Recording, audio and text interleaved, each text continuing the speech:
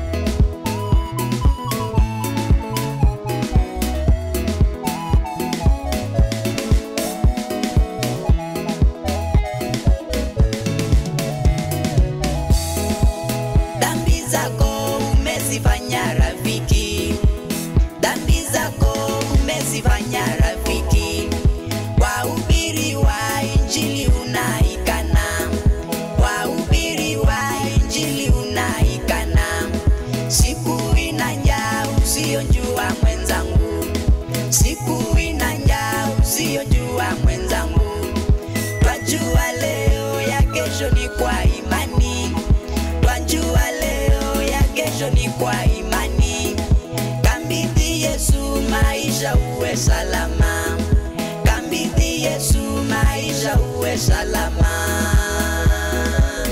maisha uwe salama, maisha